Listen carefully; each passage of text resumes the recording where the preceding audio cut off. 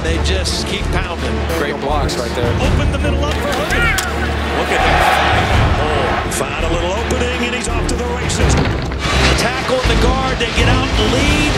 Blocking downfield. Excellent job up front for Stanford. He's outside. And there he goes. Gets down the sideline. He's got a blocker there to help him. Oh, too easy. This offensive line is blowing everybody.